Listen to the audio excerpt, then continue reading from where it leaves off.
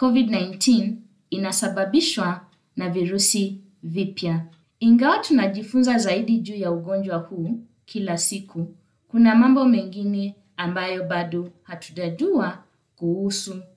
Ni kawaida kwa watu kuogopa kisichojulikana. Hata hivyo, wakati mwingine tunaunganisha hofu zetu na makundi mengine ya watu.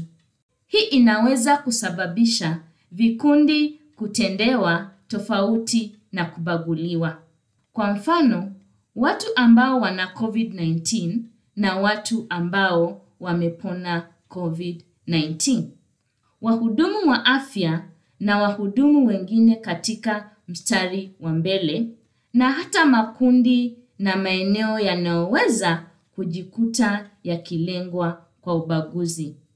Hofu ya COVID-19 mara nyingi hufanya ubaguzi uliopo kuwa mbaya zaidi. Hii inaweza kuwa na uharibifu sana kwa watu hawa na familia zao.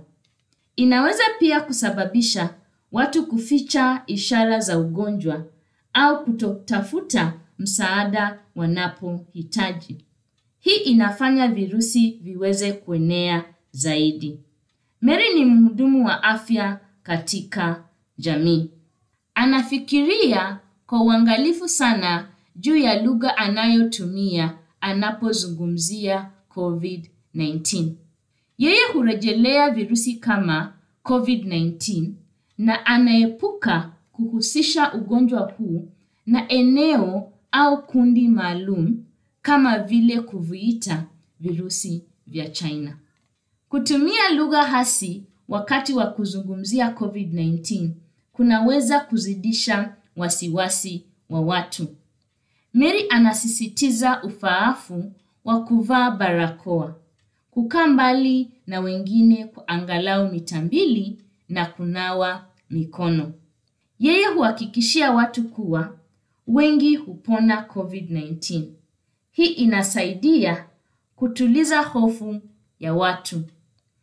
Karim anaishi katika kijiji cha karibu na kipimo kimethibitisha kuwa ana COVID-19.